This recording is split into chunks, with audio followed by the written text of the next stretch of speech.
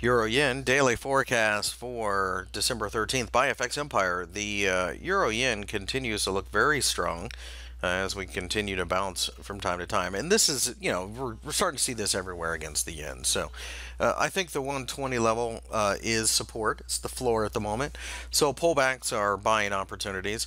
I'd like to see uh, the market reach towards 125. That's the next target that I have. So I'm bullish, no interest in selling, and will continue to be so uh, going forward.